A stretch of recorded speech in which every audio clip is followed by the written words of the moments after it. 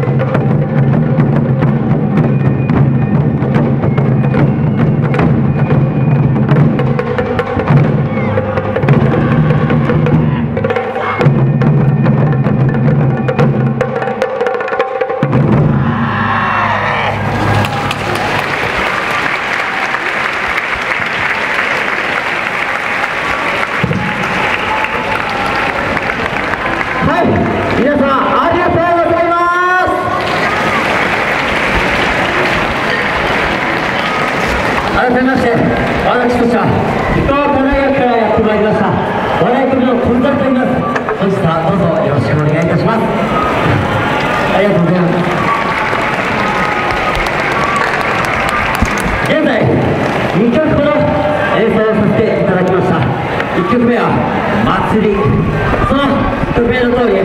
お祭りをモチーフにしたとても楽しげで皆様を笑顔にするような楽曲だったのではないかと思いますそして今2曲目演奏させていただいたのは「先人の風」武士の戦いをモチーフにした楽曲となっており戦や守りたいものを守るための戦いを最後で表現した楽曲となっておりました。そして今から演奏させていただく曲は太鼓商会私たちが日頃よりですね活用して練習して演奏している4種類の太鼓がございます。この4種類の太鼓をですね楽曲の中で皆様にご紹介をしながら演奏させていただくそういった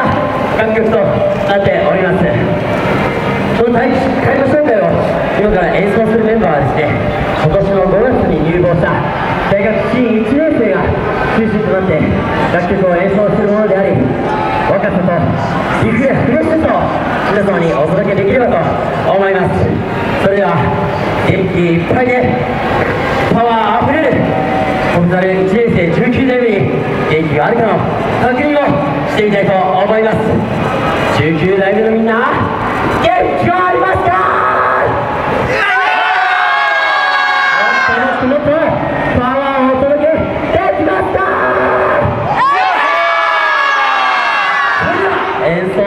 奏